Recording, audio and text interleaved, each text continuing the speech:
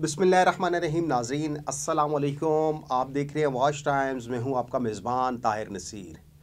नाजिन आज मैं दोबारा से बात करूँगा गैर कानूनी ब्लू वर्ल्ड हाउसिंग सोसाइटी की। गैर कानूनी नोवा सिटी हाउसिंग सोसाइटी को ऑलरेडी हम लोगों ने बता दिया है कि जो चक्री का चक्कर है, वो ऐसा घूमता है कि इंसान सर पकड़ के बैठ जाता है। चक्री के चक्कर में आप देखें कि अब्दुल्ला सिटी, वो भी गैर कानूनी हाउसिंग सोसाइटी है। रुडन इनकलेव वो भी गैर कानूनी हाउसिंग सोसाइटी है। मोविडा सिटी वो भी गैर कानूनी हाउसिंग सोसाइटी है। मोविडा वाले तो आठ दफ़ा अपना नाम चेंज कर चुके हैं एक ही जगह पे। आठवीं सोसाइटी बना रहे हैं, आवाम को लूट रहे हैं ओवरसीज़ पाकिस्तानियों को लूट रहे हैं। और इसके अलावा नोवा सिटी के हवाले से हम आपको बता चुके थे कि नोवा सिटी भी गैर कानूनी हाउसिंग सोसाइटी है। आज के प्रोग्राम में हम आपको बताएँगे कि जो गैर कानूनी ब्लू वर्ल्ड हाउसिंग सोसाइटी है, उसके जो चेयरमैन हैं साद नज़ीर ने एक नया ड्रामा खेला है। पहले हमने आपको बताया था कि साद नज़ीर ने एक पुराना एनओसी का लेटर मुख्तलिफ़ सोशल मीडिया के ऊपर वायरल करवाया और लोगों से इंस्टॉलमेंट ली, क्योंकि लोगों को मालूम हो चुका था जो ब्लू वर्ल्ड हाउसिंग सोसाइटी के जो जिन्होंने प्लाट लिया था, उनको पता चल चुका था कि ये गैर कानूनी हाउसिंग सोसाइटी है। सिर्फ़ सोशल मीडिया के ऊपर कुछ यूट्यूबर्स हायर करके ये लोगों को झांसा देते हैं और कहते हैं डेवलपमेंट का काम हो रहा है। इस ब्लॉक की बेल्टिंग हो चुकी है, इस ब्लॉक की हो रही है, इस तरह की चीज़ें। लेकिन आज जो एक नया ड्रामा साद नज़ीर के कहने पे खेला गया है, उसके ऊपर मैं बात करूँगा कि साद नज़ीर ने ओवरसीज़ पाकिस्तानियों को लूटने के लिए कौन सा नया ड्रामा खेला है, जो जो ब्लू वर्ल्ड हाउसिंग सोसाइटी के जो मम्बरान थे, उनको लूटने के लिए क्या प्लान बनाया गया है? और इसके अलावा नोवा सिटी की अगर हम बात करें तो जो उसके मालिक हैं, चौधरी जुनेद उन्होंने भी अब एक ड्रामा खेला है। आज के तकरीबन तमाम जो कौमी अखबार हैं, उनके फ्रंट पेज के ऊपर एक इश्तहार दिया गया है कि नोवा आ रहा है। किसको मालूम नहीं कि नोवा गैर कानूनी है? किसको मालूम नहीं कि जो नोवा सिटी को सिविल एविएशन अथॉरिटी ने जो एनओसी दिया था, सरवर ख़ान के हुक्म पर वो गैर कानूनी तरीके से एनओसी दिया गया था। किसको मालूम नहीं कि चक्री के चक्कर में जितनी हाउसिंग सोसाइटी हैं वो नोवा सिटी हो जाए, उन्होंने रिंग रोड के नाम पर आवाम को कितना बेवकूफ़ बनाया।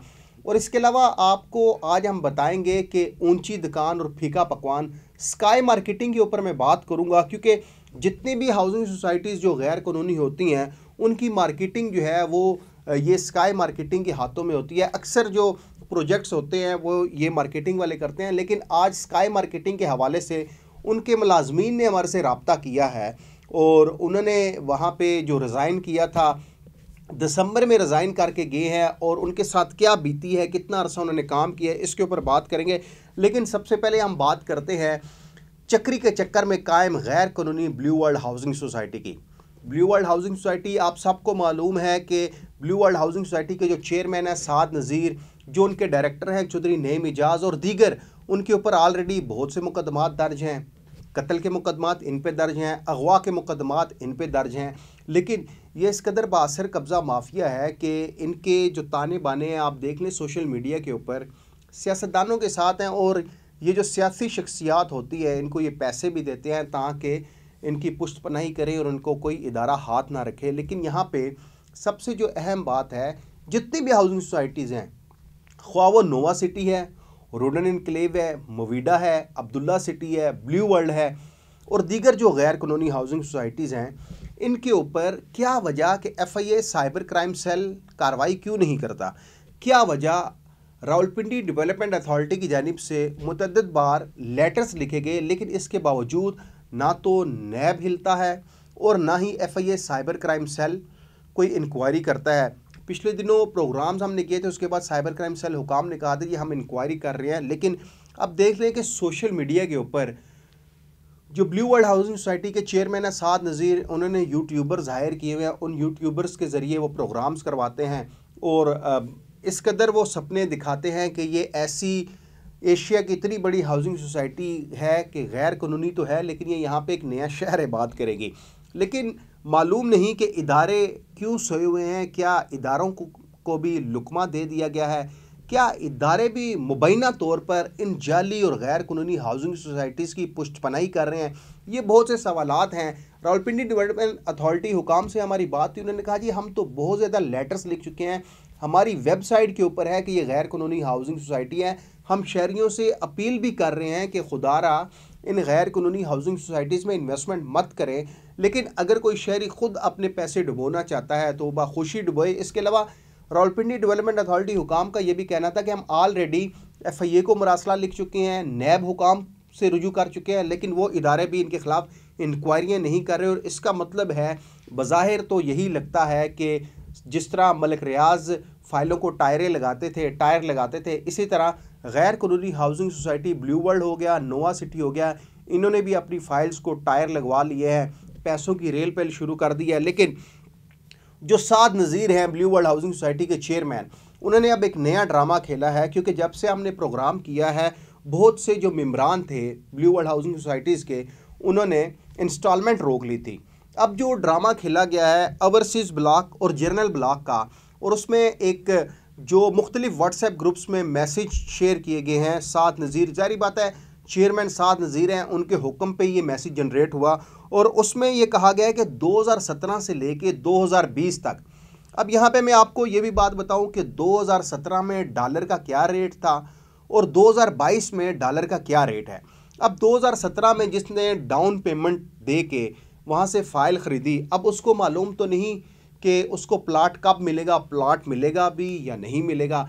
लेकिन जो मैसेज जनरेट करवाए गए हैं, उसमें ये कहा गया है कि 2017 से 2020 तक जो भी फाइलर है, उन्होंने अगर अपनी इंस्टॉलमेंट पे नहीं की तो उनका जो फ़ाइल है, वो ब्लॉक कर दी जाएगी या उनकी जो डाउन पेमेंट है, वो कैंसिल कर दी जाएगी। अब इसके बाद होगा क्या? वो भी मैं आपको बता दूँ।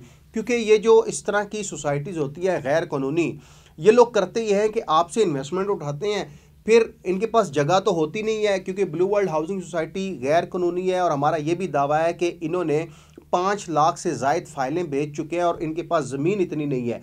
इनका काम जो इसके मालिक हैं साद नज़ीर, उनका काम यही है कि आवाम को लॉलीपॉप देना सोशल मीडिया के ऊपर कुछ सोशल एक्टिविस्ट हायर करना, उनके ज़रिए प्रोग्राम्स करवाना ताकि ज़्यादा से ज़्यादा सरमाकारी इकट्ठी की जाए। और जब ये देखते हैं कि इनका एक पीक जो होती है, इन्होंने जो अपना एम बनाया होता है, उसमें ये जब पहुँचेंगे तो ये रफू चक्कर हो जाएँगे। ये बात आप नोट कर लीजिएगा। अब जो मैसेज जनरेट करवाया गया है 2017 से 2020 तक जिन्होंने पेमेंट नहीं दी, यानी कि जिन्होंने इंस्टॉलमेंट नहीं दी, उनके प्लाट, यानी कि उनकी फाइल्स मनसूख की जा रही हैं या उनको ब्लॉक किया जा रहा है। अब इसके बाद ये एक ड्रामा खेलेंगे। ये जो ड्रामा 2017 से 2020 का इस वजह से खेला गया है ताकि जिन लोगों ने इनको अभी तक इंस्टॉलमेंट नहीं दी, अब ज़ाहिर बात है, जो जिस शख्स ने, जिस शहरी ने फ़ाइल ली है, वो कैसे आपको इंस्टॉलमेंट दे जब आपकी हाउसिंग सोसाइटी गैर कानूनी है 2017 में अगर एक शख्स ने डाउन पेमेंट दी थी 20 परसेंट और अभी 2022 है तो आप ये भी अंदाज़ा कीजिएगा कि जो आप कटौती करेंगे, पहले तो बात है आप उनको पैसे वापस ही नहीं करेंगे। अगर आप पैसे वापस भी करेंगे तो ये भी अंदाज़ा लगाइएगा कि 2017 में जब आपने इन्वेस्टमेंट ली थी डॉलर का रेट क्या था? 2022 अब आ गया है और अब डॉलर का रेट क्या है? ये एक नया ड्रामा था, साद नज़ीर की जानब से आवाम को लूटने का। इससे पहले आपको पता है, उनके अपने पेज के ऊपर जाएँ, साद नज़ीर का फेसबुक के ऊपर पेज है। उस पर भी उन्होंने इसी तरह एनओसी का एक जाली ड्रामा खेला था आवाम को लूटने के लिए। उस वक्त भी इन्होंने करोड़ों रुपए की इंस्टॉलमेंट इकट्ठी की थी। अब इंस्टॉलमेंट लोगों ने रोक लिया और अब इन्होंने एक दूसरा ड्रामा शुरू कर दिया कि आपके प्लाट मनसूख कर दिए जाएँगे, आपकी फाइलें ब्लॉक कर दी जाएँगी। ये एक ड्रामा था और इसके अलावा आपको एक और बात ये भी बता दूँ कि जो नोवा सिटी है, उन्होंने आज हाउसिंग सोसाइटी जो गैर कानूनी है, उन्होंने आज तमाम जितने भी कौमी अखबार हैं, वहाँ पे इश्तहार देना शुरू कर दिए हैं, क्योंकि कल से इनके नोवा सिटी के जो मुतासरीन हैं, वो भी अब आपको अनकरीब आप देखेंगे, वो सड़कों पे आ जाएँगे, क्योंकि बहुत बड़ी सरमाकारी इन्होंने भी इकट्ठी की है। नोवा सिटी की जो इंतज़ामिया है, हमारा ये दावा है कि उसके बैग पे सरवर ख़ान, उनके साहबजादे और दीगर उनके करीबी रुफका है और उन्होंने बैठ के ये प्लान बनाया था आवाम को लूटा था।